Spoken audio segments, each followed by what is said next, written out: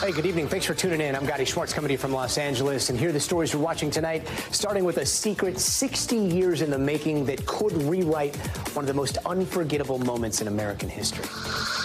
President John F. Kennedy died at approximately 1 o'clock Central Standard Time today here in Dallas. He died of a gunshot wound in the brain.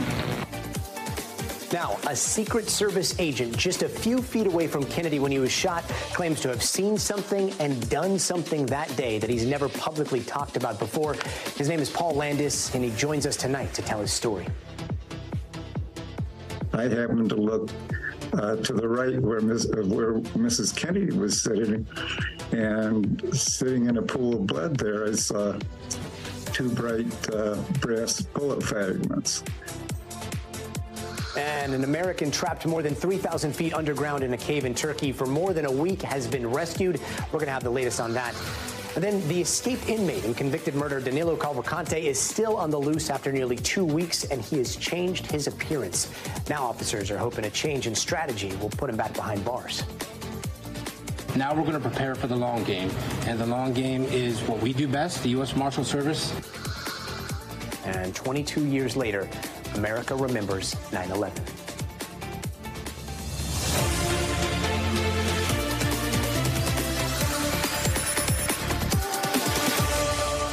Up tonight, we are about to talk to a former Secret Service agent with a secret that, if true, could rewrite so much of what we know happened on the day President John F. Kennedy was assassinated. It is a confession he says he is making after 60 years of silence, all about a single bullet he found in the back of that convertible. Now, the implications could be staggering. There's a lot of fact from fiction that we're going to be separating here. So we want to start with just a little bit of history and take you back to that fateful day in Dallas in 1963. The motorcade is traveling at about 20 to 25 miles an hour. This, this is the scene of confusion. Something has happened here. The cameraman running toward the scene to the presidential car ahead of him. These films from outside the emergency room of Parkland Hospital in Dallas as the president is dying inside. Senator Ralph Yarborough, who saw the shooting, said he heard shots and then saw a Secret Service man pound his fist against a rear fender of the presidential car in anguish.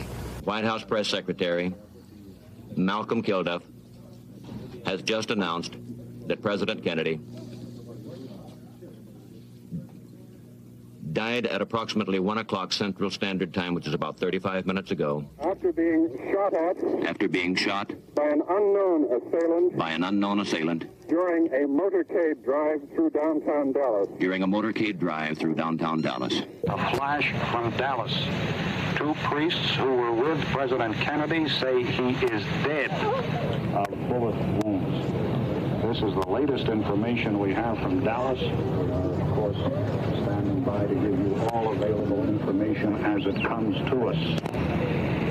I will repeat with the greatest. And the remains of John F. Kennedy are about to pass a memorial to another president assassinated. Now, the final report by the Warren Commission concluded that three shots were fired. One shot passed through the president's back and exited through his neck. It may have also hit Texas Governor John Connally, seeming to ricochet inside his body, and that the last shot hit President Kennedy in the head. But here's the thing the root of most conspiracies surrounding what happened deal with a mystery known as the magic bullet theory, all having to do with the shot that entered JFK's back as doctors told Congress, and then again somehow allegedly exited through his neck, then pierced the governor. Sitting there in front of him, went through the governor's chest, shattering a rib, then exiting his body, then going back inside to his wrist, went through that, and then hit his leg. And that bullet was found intact at the hospital. Now, it was always assumed that it fell off the governor's stretcher, but today, that Secret Service agent who we are about to talk to says he's the one who found that bullet and put it on the stretcher. But before we get to him, let's take a quick look at this report from NBC's Liz Kreutz. 60 years after one of the most earth shattering days in modern American history, when President John F. Kennedy was assassinated in Dallas in 1963. President John F. Kennedy died at approximately 1 o'clock Central Standard Time. Former Secret Service agent Paul Landis, who was with the president that day, is opening up for the first time about what he witnessed. For decades, the prevailing theory was that one bullet struck JFK and then hit Texas Governor John Connally, who was sitting in front of him. It became known as the magic bullet theory, which explained how one shooter could have fired all the shots. The theory is based on this bullet being found on Governor Connally's gurney at the hospital. But now, in a new book, Landis says he knows how it got there. The 88 year old tells the New York Times he found that bullet lodged in the car seat behind where Kennedy was killed. He says he then took that bullet to the hospital and placed it on the president's gurney. It was a piece of evidence, he tells the Times, and I didn't want it to disappear or get lost. So it was Paul, you've got to make a decision, and I grabbed it. But Landis now says he thinks the bullet may have rolled from Kennedy's gurney to Connally's, meaning it may not have been the bullet that injured Connally. Dr. Aguilar, you've studied this case for years. How significant is this? I think this is a significant piece of new evidence to support the idea that there was more than one gunman in Dealey Plaza. Clint Hill, the Secret Service agent who climbed on the back of the limo after Kennedy was shot, questions Landis's story. Why do you have doubts about his account? Because if you check all the evidence, statements, things that happened, they don't line up. It doesn't make any sense to me that he's trying to put it on the president's journey. But Landis, who was not available for an interview with NBC News, tells the Times he made mistakes in his initial reports. He says he's been afraid to share his true story until now. Liz Kreutz, NBC News. Thanks so much, Liz. Paul Landis, a witness to the assassination and author of the book The Final Witness, joins us now. And James Robenalt, a presidential historian who wrote the profile in Vanity Fair on Paul's book, joins us as well. First off, Mr. Landis, thank you so much for joining us. I can't imagine uh, the trauma of seeing what you saw and then having to relive it for decades. Uh, thank you so much for speaking to us tonight. Um, I know this is decades and decades in the past, but what do you remember starting with the first shot all the way to discovering the bullet? Oh, well, I remember uh, the first shot came from over my right shoulder. I turned around to look to see where it was coming from. Um, I scanned quickly uh, the grassy knoll area that was in front of us or to our right. Uh, I looked President Kennedy. I did not realize he'd been hit at that moment he was raising his arms, and I thought he was leaning to the left. I thought he was turning to see where the sound came from. Uh, just after after that, I scanned quickly to the right, back again. I was looking at the president when the second sound uh, happened. I still did not see any reaction from anybody in the presidential limo. And at that point, we were approaching the underpass, and I heard a loud uh, report that came very shortly after the second one. Uh, we flew through the underpass. Uh, during this whole time, the, the uh, six seconds that, that took place, I saw Clint Hill running running to the president's limo and reaching to get up on the trunk. Um, he got up there just as Mrs. Kennedy seemed to be reaching out up over the trunk and get, getting back. And Clint pushed her back into the seat, covered the body, and we flew under the underpass. And I had no idea where we were going. I assumed it was uh, closest hospital available.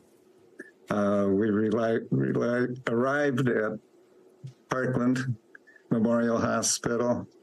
Um, I jumped out of the follow-up car and raced up to Mrs. Kennedy to the Mrs. Kennedy in the limo. I reached over and took her by the shoulders and asked, asked her if I could help her. Uh, she said, "No, no, no, no. I, I want to stay with him. I want to stay with the president." Uh, about that time, Clint entered the uh, rear of the car and uh, realized that Mrs. Kennedy was hiding the president's head and didn't want anybody to see the head wound. So he, he immediately convinced her he covered, he took off his suit coat, covered her head, uh, his president's head, and they started to get up to leave the, the limousine. In the meantime, while this was happening, I happened to look uh, to the right where, Ms., where Mrs. Kennedy was sitting, and sitting in a pool of blood there, I saw two bright uh, brass bullet fragments. I picked one of them up, looked at it, and it was kind of like the end of my little pinky. It was mushroomed, uh, and I put it back right exactly where I found it. And by then, Mrs. Kennedy was standing up, and I was looking around for other agents. I didn't see anybody, but I saw an intact, fully uh, bullet on the back of the seat where the uh, cushioning meets the met the trunk of the car.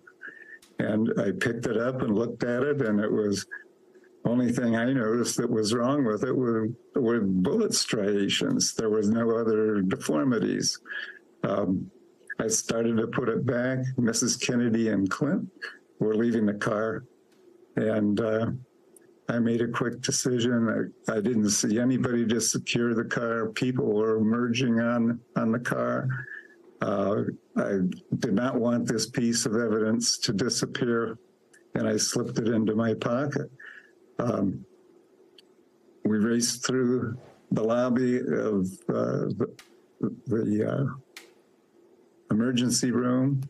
On the way out of the car, I uh, noticed Mrs. Kennedy's pillbox box hat, her clutch purse, and I picked them up. And then I noticed there was a Zippo cigarette lighter on the street on the seat.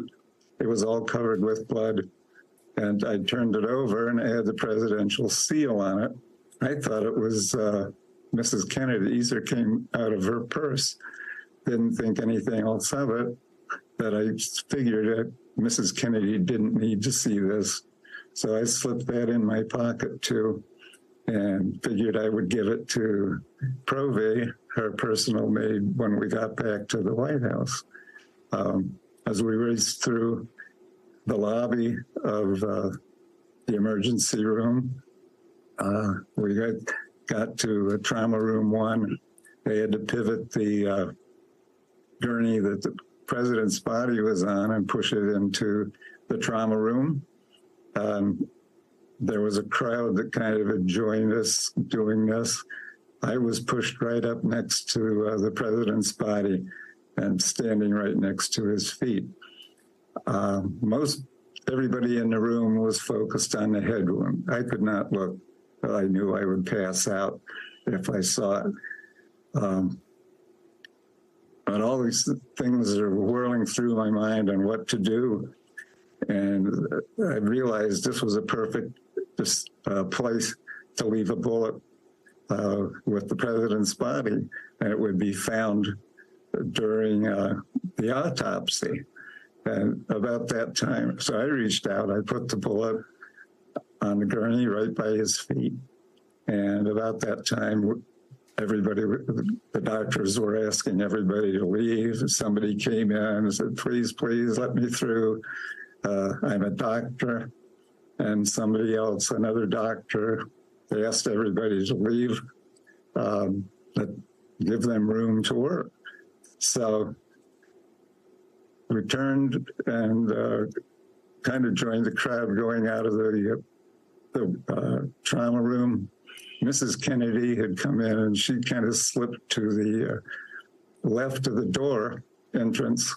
So I kind of stood there with her while everybody was leaving. And then I followed her out when she stepped out. Um, I then I spotted Clint and uh, Roy Kellerman uh, in an office to the left. And I walked over to tell Clint I was going to be over with Mrs. Kennedy. And he, at that point, he was on a phone.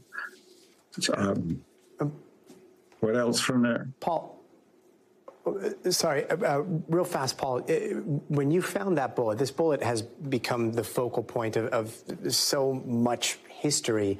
When you found that bullet, was it lodged in a cushion? You said that had striations.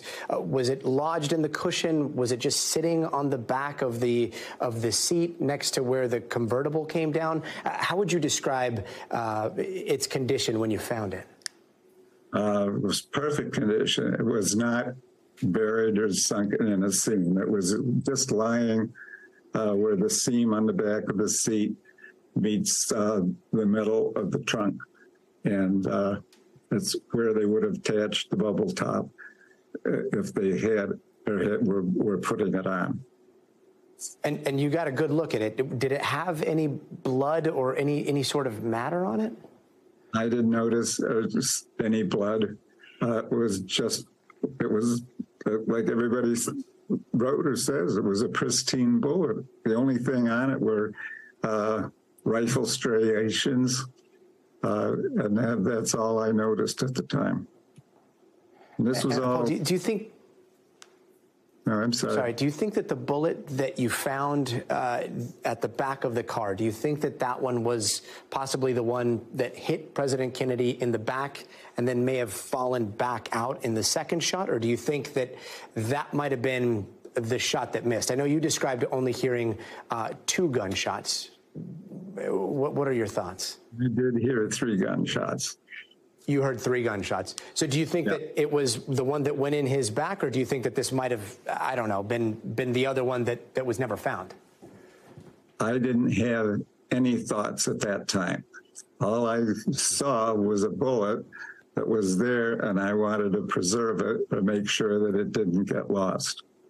That's that's basically it. And, and, we've heard from Clint Hill, the other Secret uh, Service agent there. Uh, he questions your account, saying it doesn't make any sense to him. Uh, uh what do you make of that?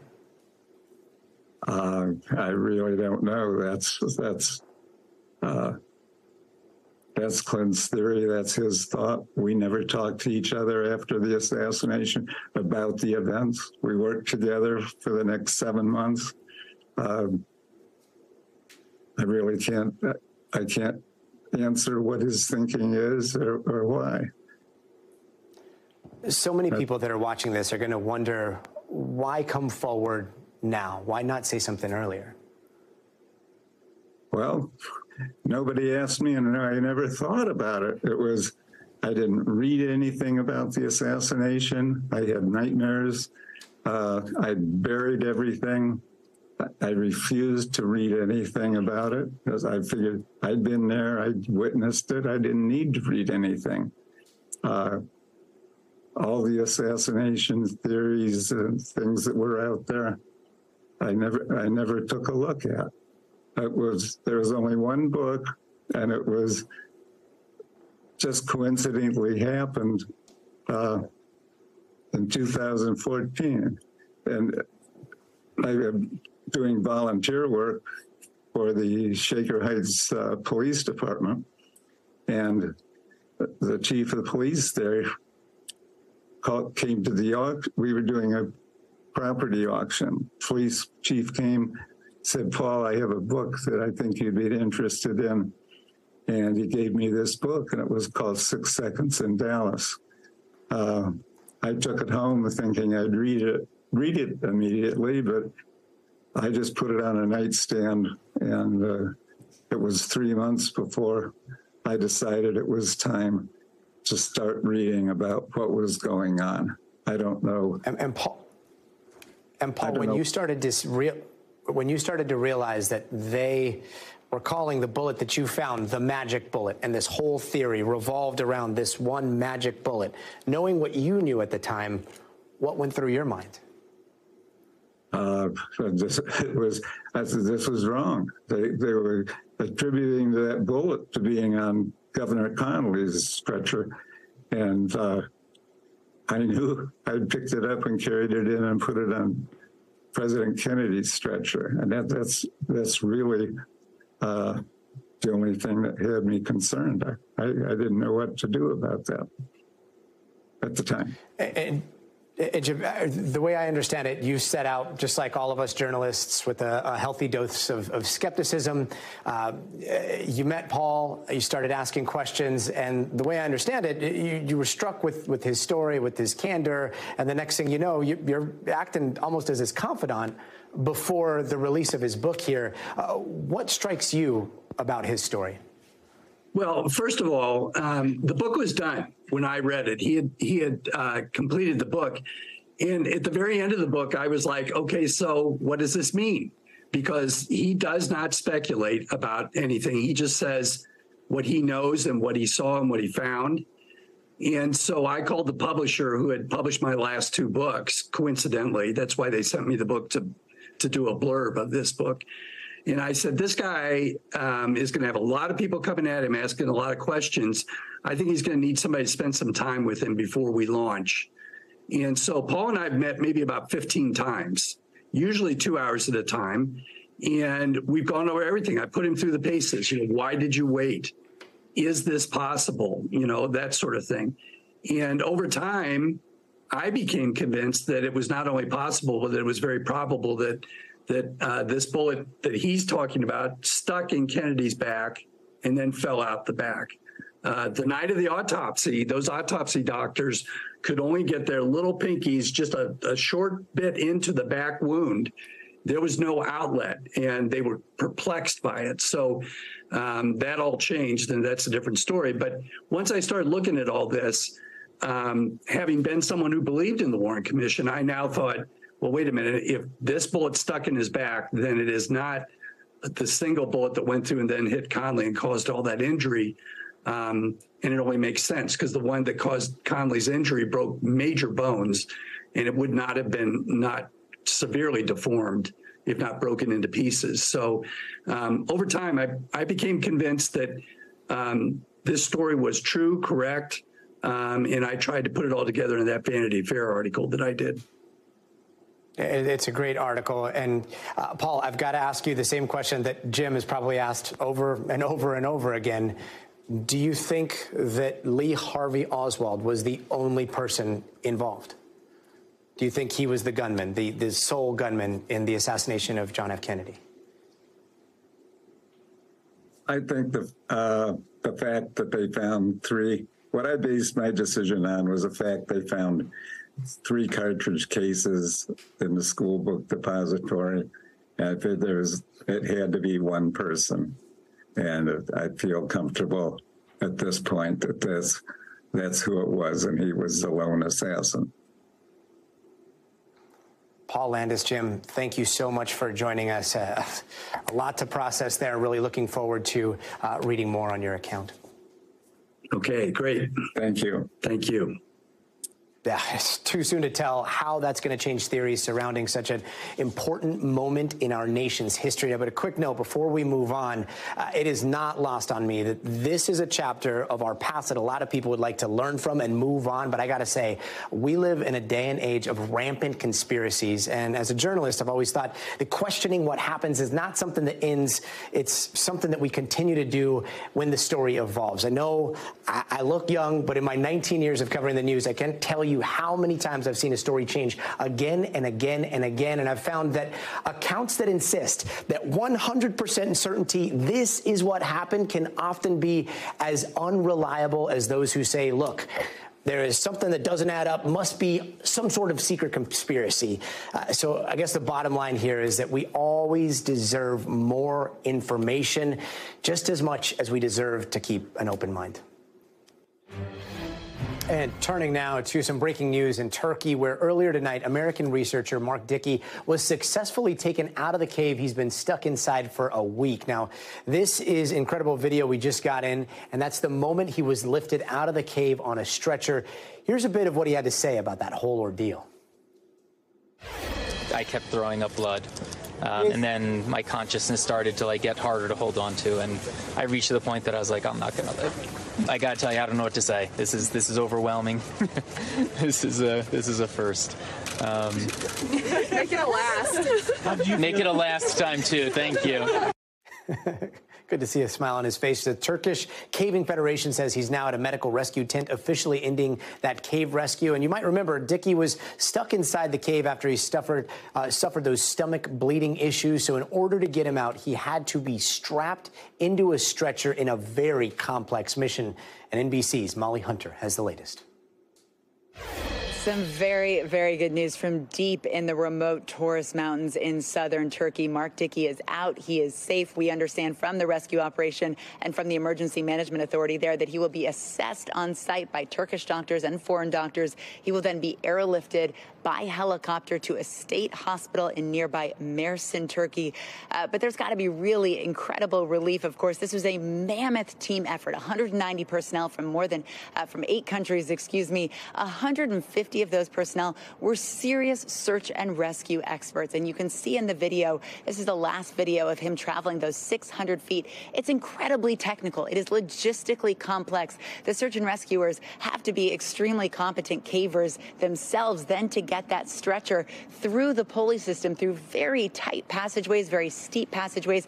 And you can see in the video, uh, Dickey is basically lashed into this stretcher, completely cocooned, and rescuers call that patient packaging basically preventing him from slipping off in any way as they move him. And you can see the stretcher kind of heaving and rocking as it's going through very tight passageways. We're also told unbelievably that that video, the last 600 feet, actually a slightly more mild incline than those first couple thousand feet, which was very vertical. Rescuers had to use small explosives, had to use hammers to basically blast Mark Dickey out. But some very good news. We do not have a medical update. We do not know exactly what state he is in, but he is alive and he is out of that cave.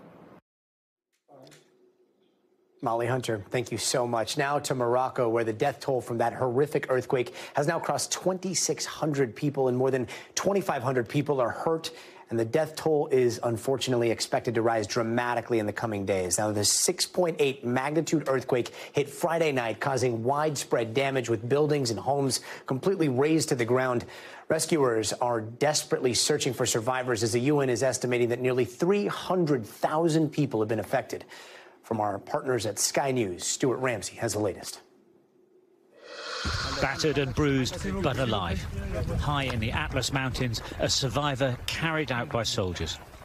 Many thought it would take a miracle for people to be alive up here. This was a day of miracles. Cut off for days with no help, these communities had to wait. Finally, it arrived. Slowly but surely, they're carried down when they're found. The earthquake destruction of some of these mountain villages was complete. Just a handful of people escaped from this town. Everyone else died. The rescued are put onto trucks to begin a journey down the mountain to the valley floor and medical treatment. The people are now coming off the mountain. It's taken the rescue teams a long time to get here. But uh, they're getting off injured. They haven't been there long. But uh, people are now coming out. Many thought there would be no survivors here, but there clearly were. They've been able to dig them out. They've come down, but there'll be no doubt other teams going up.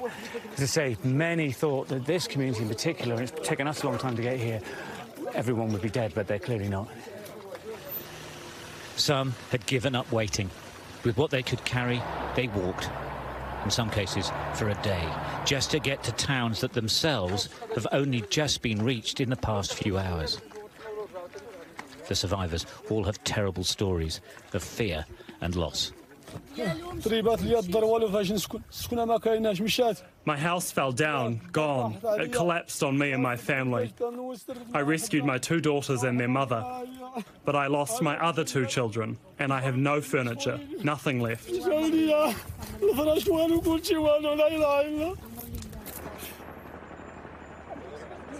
The speed of the rescue operation has been criticised here. They're still having to deliver aid to remote areas by helicopter. The roads are impassable. But even this can be traumatic for the survivors. They're dropping aid so low, the wash from rotor blades destroys what's left of a home already damaged in this earthquake. The military has realised that with the mountain roads so dangerous, they have no choice but to deploy the army on foot We joined them as they began their mission to reach towns and villages that still have nothing. We soon discovered that wherever they could get to, people were in desperate need of help. Neza and her husband Rashid just couldn't stay in their village. She is nine months pregnant and couldn't have a baby in the ruins.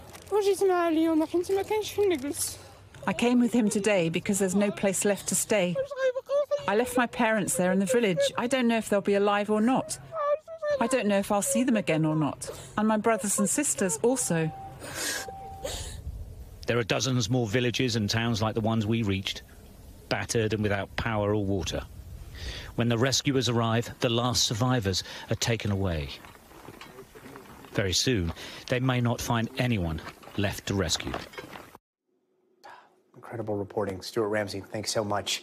Now, escaped inmate and convicted murderer Danilo Cavalcante is still on the run. And guys, a lot happened over the weekend. On Saturday night, Cavalcante stole a van that's allegedly from a dairy farm and drove like 20 miles up north to this area where, get this, he tried to get into contact with two former co-workers, one in East Pikeland Township and one in Phoenixville. Now, he couldn't get into contact with either, but one of the co-workers reported the incident to police and shared a ring camera photo. It shows Cavalcante there with a new appearance. He's now clean shaven, sporting a greenish hoodie, baseball hat, and still has those green prison pants. Uh, and police later found that van, but no Cavalcante in sight. They think he is somewhere in Pennsylvania.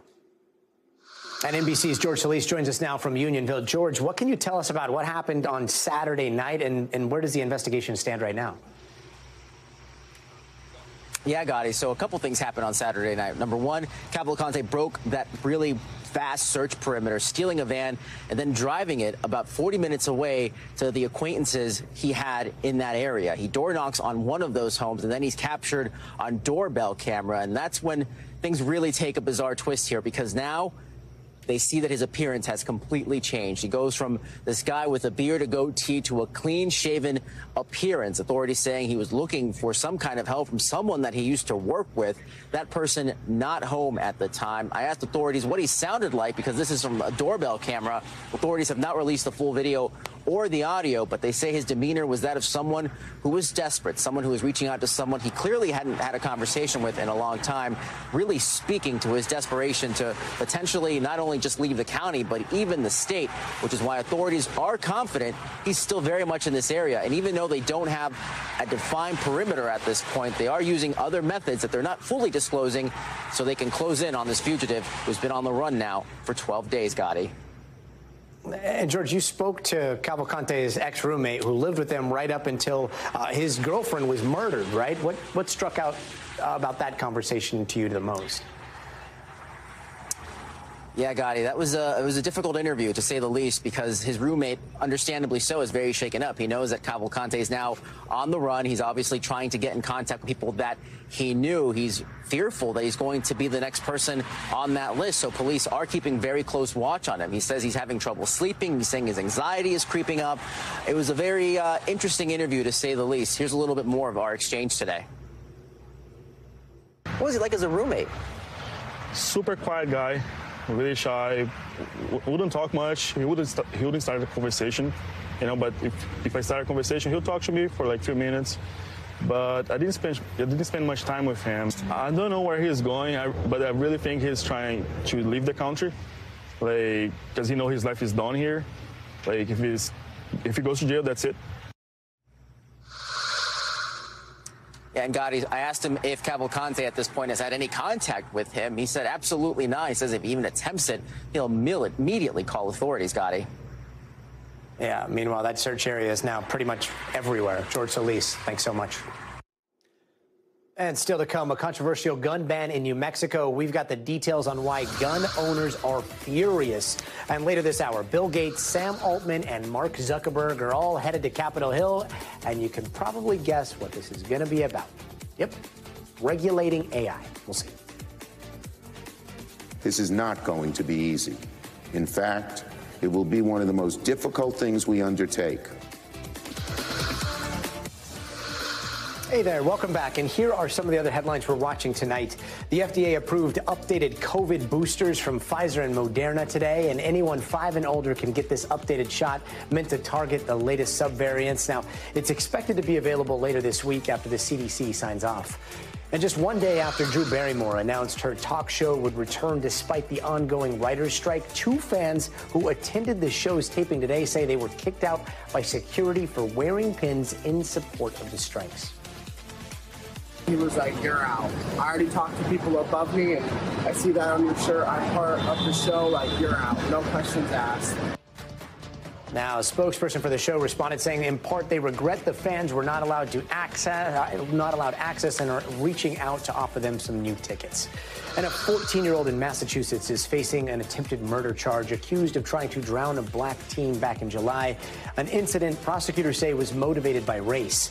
Now, court documents say the teen suspect repeatedly dunked the victim, who could not swim, into a pond and called him George Floyd.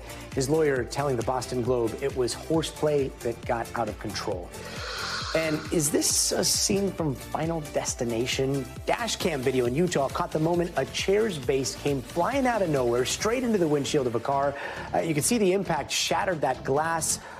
Only the person in the passenger seat was left with minor cuts. And call it a sugar reunion. The Smucker's brand, famous for its PB&J essentials, is set to buy Hostess Brands, the makers of snack classics like Twinkies. The deal is worth a whopping $5.6 billion and is expected to close next year in April. And the governor of New Mexico is getting a lot of criticism over a new emergency order that suspends open and concealed carry laws in the city of Albuquerque. Now, this comes after a bunch of shootings there recently, including one that resulted in the death of a child. Take a listen. The purpose is to try to create a cooling off period while we figure out how we can better address public safety and gun violence. Now, a lot of people there are quite literally up in arms over the ban. Yesterday, protesters took to the streets to uh, demonstrate against that new rule, but it's not just those that are pushing back. Albuquerque's mayor, the police chief there, and a county sheriff are all vowing not to enforce the governor's ban. NBC's Priscilla Thompson joins us now. Priscilla, uh, can you walk us through the drama with this one? Can the mayor and the police chief just decide not to enforce something that the governor's put out? And what about those questions of whether or not this is even constitutional. Well, Gadi, that is exactly what these officials are raising when they are saying that they're not going to enforce this. They are saying that they have sworn an oath to defend the Constitution and they feel that this order is unconstitutional. I want to play a little bit of what uh, the county sheriff there in Albuquerque had to say. Listen. While I understand the urgency, the temporary ban challenges the foundations of our Constitution, but most importantly, it is unconstitutional. My oath was to protect the Constitution, and that is what I will do. And he also said that he is concerned about potential civil liability for officers who do attempt to enforce this order, and also that those officers may be putting themselves at risk if they are approaching seemingly law abiding, gun carrying citizens and seeking to uh, potentially take those guns or something like that. And so these are some of the concerns that we're hearing raised by law enforcement and officials in Albuquerque who are being asked to enforce this order. Gadi? And Governor Michelle Lujan Grisham, eh, she's also getting backlash from people in her own party, right? That's right. You mentioned the mayor, but also the attorney, uh, the district attorney in Albuquerque, who was appointed by the governor, has said that he will not uh, enforce this order. And we're also hearing from the ACLU that is expressing concerns, saying that this could potentially create over policing and racial profiling in some communities if police and officers go in seeking those guns. And the ACLU is calling on the governor to use evidence based strategies like intervention prevention and deterrent programs that are proven to address the root causes of this violence. And they're saying that this order is not the answer. Gadi? Priscilla Thompson, thanks so much. And coming up, one of the world's most active volcanoes erupting in Hawaii. That's ahead when we check the headlines tonight on the West Coast. Hey there, welcome back. And here are some of the stories that are happening on the West Coast that we're following tonight. In Hawaii, the Kilauea volcano erupted over the weekend, ending a quiet two months for one of the most active volcanoes in the world. Officials have downgraded the alert level today and say there is no threat to people or property. And in San Francisco, just an incredible sight this morning. This huge sinkhole opened up in the streets there after a water main break. It not only caused major traffic headaches, but also flooded nearby homes. And city officials say it's all because of this water main break late last night. Crews worked through the night to control that situation, but they couldn't stop that massive sinkhole from opening up. And in Portland, Oregon, dancers at a strip club there become the second in the country to unionize. Dancers at the Magic Tavern say they are on strike because of unsafe working conditions, including gas leaks and poles that weren't installed correctly. The club's owners say dancers are independent contractors and can work wherever they want, but the Actors Equity Association, which helped the dancers unionize, says that's not the case. The union says the dancers aren't independent because they don't decide on their own shifts, rates, or clients, and the dancers are hoping to reach a negotiation with the club. Meanwhile, the club remains open with non unionized dancers on stage. And on the car manufacturing front, growing signs that by the end of the week, 150,000 auto workers could be on strike. Now, contract negotiations are still underway between Detroit's big three automakers and the United Auto Workers Union. Both sides have until Thursday night to come to some sort of agreement, but as of right now, it is not looking good. General Motors, Ford, and Chrysler's owner Stellantis have all submitted proposals, but the union has rejected all of them. And joining us now is NBC's business and data reporter Brian Chung. Brian, uh, what are both sides asking for, and where do negotiations stand right now? Well, Gadi, the big sticking point appears to be wages, wages, wages. The United Auto Workers Union is asking for a 46% bump in wages compounded over the next four years. And the best offer from any of the three, at least right now, is coming from Stellantis, the maker of Chrysler vehicles. They're offering 14.5% increases in wages. So numerically, you can see just how far apart they are right now. There are other parts of these negotiations as well when you talk about pensions for retirees, in addition to health care but again, the big sticking point appears to be wages. It's encouraging to see that the three automakers are all in conversation and have at least had one round of offers each. But again, we only have until Thursday, 11:59 p.m. into midnight on Friday to avoid a strike. And industry contacts that I've heard from over the past few days have said it doesn't look good in terms of avoiding one, Gadi. Yeah, that seems like a massive gap. Now, I remember a 40 day strike back in 2019 cost automakers tens of billions of dollars, right? What kind of impact could we see if this happens? Yeah, well, some estimates from the likes of Goldman Sachs have said that for every week that a strike goes on, it could cost each automaker between two and a half to three billion dollars in lost revenues. But it's important to contextualize that within how much it would cost the companies to make the concessions that the UAW is asking for. And the same firm, Goldman Sachs, estimates that would be somewhere between four to six billion dollars for each of the automakers. You have other estimates like the Anderson Economic Group, which uh, is partially uh, in uh, uh, working with the uh, auto workers because it's important to note that Ford and also GM are kind of clients of that group, but they estimate it could be $5 billion of losses as well. So there's a lot to be lost here, but there's also a lot to be gained in terms of how much the automakers could pay out to the union. Again, we'll have to see how those numbers shake out in the days to come. Brian Chung, always a pleasure. Thanks so much. And 22 years ago today, the United States and the world changed forever with the September 11 attacks. And this morning in New York City, the vice president attended a moment of silence at Ground Zero. Bells rang at times.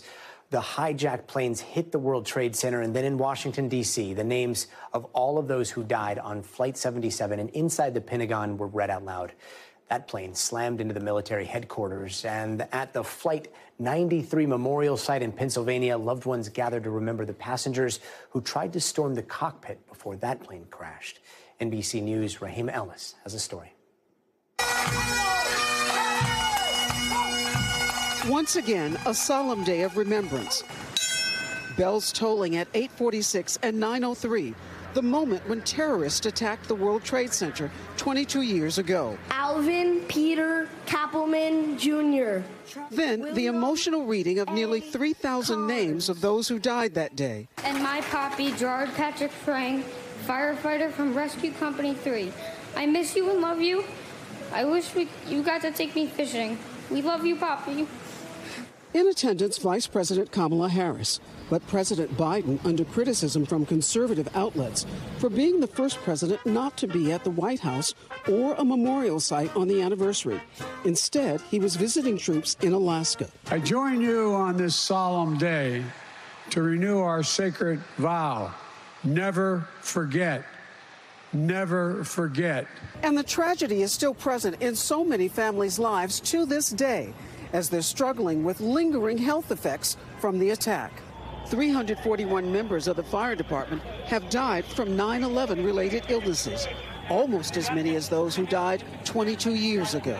He was great. Jim Brosey's father, Joseph, was one of them. He died from lung cancer this year. Lieutenant Joseph Brosey, Engine 88, and his name was added to a memorial wall at FDNY headquarters. I would walk through those hallways looking at names of people I worked with, people I knew, and the one thing you never want to see is one of your own family.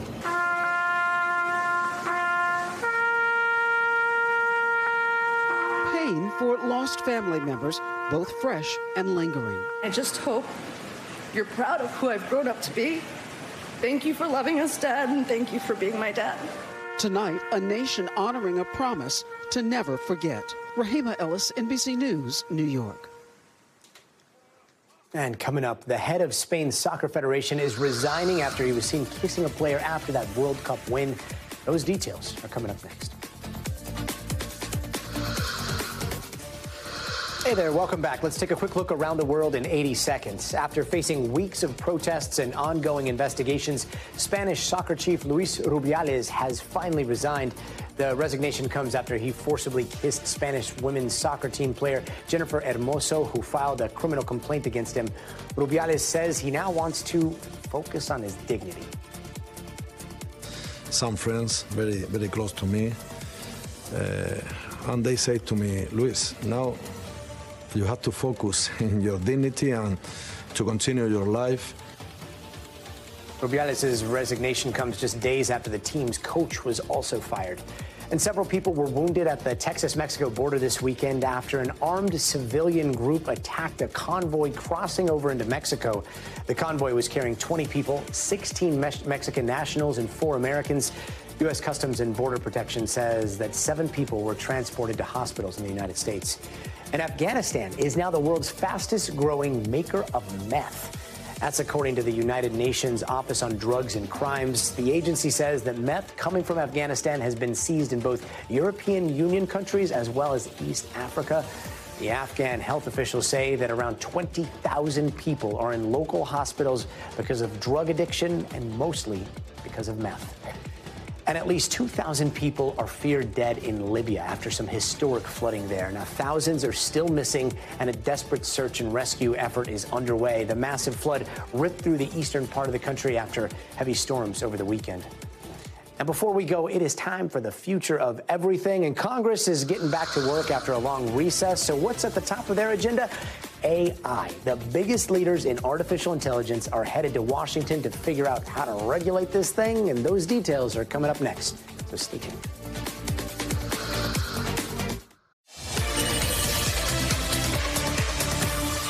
And in the future of everything, Congress is back in session, and a big focus this first week is going to be on artificial intelligence, and it's all going down behind closed doors at the Capitol on Wednesday. That's uh, what's officially being called the Senate's first AI Insight Forum. The brainstorming session is being organized by Senate Majority Leader Chuck Schumer, who a few days ago had this to say about the legislative priorities surrounding AI. Watch.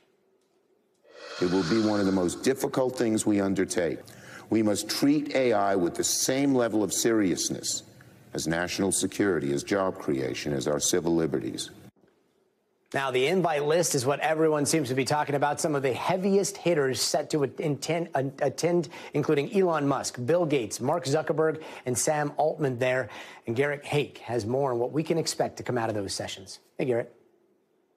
Gadi, what we're going to see this week on the Hill with AI is fairly unusual, especially this summit on Wednesday with all those CEOs you just laid out meeting behind closed doors with all 100 senators. This really is the brainchild of Chuck Schumer, who I'm told by an aide kind of realized a little while ago that AI was going to be one of those issues that could be society defining. And he didn't want Congress to get stuck behind it. I mean, how many hearings have you and I covered with these same lawmakers talking about social media or other kind of tech issues where you can tell they've been explained these issues by their grandkids and they just don't understand it. Schumer has made it clear he does not want to see that be the case with AI. So Wednesday's summit is really about education and about an opportunity for these centers to hear from kind of the leading lights in the industry in a lower pressure situation. They're not going to grill these people. There's going to be no cameras. It's going to be totally behind closed doors. It's a learning opportunity for these lawmakers to get their heads around what does need to happen in the other hearings that they're going to have, including including some this week in the House and going forward in some of these Senate committees, to start figuring out what kind of regulation is appropriate and what kind of regulation can pass so that Congress isn't totally on the back foot when it comes to AI. Now, look, we are a long way from anything, I think, really becoming law here because there is a lot of disagreement between the parties and even inside them about what's the best route to take. They want to encourage AI innovation in the United States to make sure the U.S. is a leader in AI, but they also want to regulate in a way that things don't get totally out of hand and out of control with technology that most of the country doesn't understand. So it's the first step, I think, in what's going to be a very long journey for Congress to try to make sure they don't get totally left behind on a very fast changing issue that's front of mind for so many people all around the country. Gadi? Key words there, long journey. Garrett Haake, thanks so much. And that does it for us tonight. I'm Gadi Schwartz. We'll see you here tomorrow. But until then, stay tuned now.